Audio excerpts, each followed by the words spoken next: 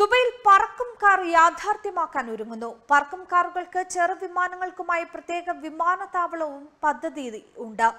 ദുബൈയിൽ നടക്കാൻ പോകുന്ന ജൈടെക്സ് ടെക്നോളജി വീക്കിൽ പറക്കും കാർ എത്തിക്കും. പറക്കും കാറുകളും ടാക്സികളും യാഥാർത്ഥ്യമാക്കുന്നതിന്റെ അവസാന ഘട്ടത്തിലാണ് ദുബായ് ഒക്ടോബർ പത്തിന് ആരംഭിക്കുന്ന ജൈടെക്സ് ടെക്നോളജി വീക്കിൽ രണ്ടു പേർക്ക് സഞ്ചരിക്കാവുന്ന പറക്കും കാറാണ് അവതരിപ്പിക്കുക.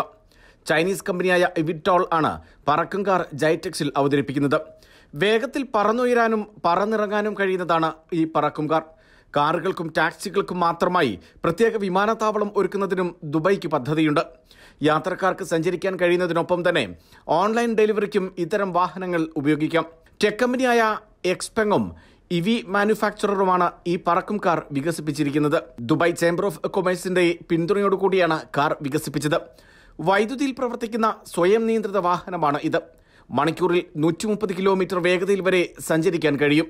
നിരത്തുകളിൽ സ്വയം നിയന്ത്രിത കാറുകൾക്കൊപ്പം പറക്കുന്ന കാറുകളും യാഥാർത്ഥ്യമാക്കുന്നതിനുള്ള ശ്രമങ്ങൾ ദുബായ് നേരത്തെ തന്നെ ആരംഭിച്ചതാണ്. വൊളോകോപ്റ്ററിന്റെ പറക്കും വാഹനം ദുബായിൽ വിജയകരമായി പരീക്ഷണം നടത്തുകയും ചെയ്തിരുന്നു.